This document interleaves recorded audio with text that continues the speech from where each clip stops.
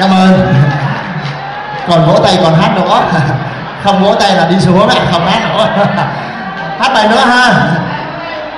À, cũng mong rằng à, các anh chị em chúng ta cùng nhiệt tình để đăng ký à, những bài hát nha. Tuấn Anh cũng xin mời tất cả quý vị nãy giờ cũng ba lần rồi và cũng xin thông báo quý vị là giờ này chưa có một tiếng hát quý khách nào đăng ký góp vui.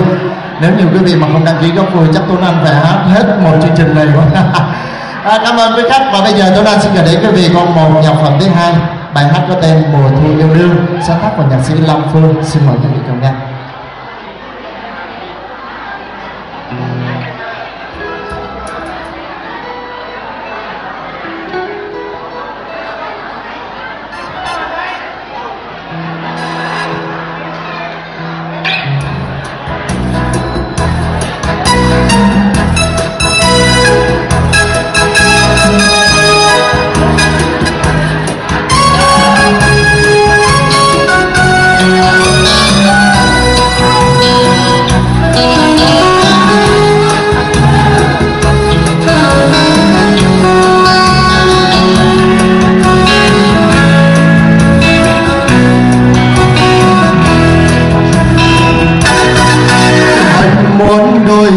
Ta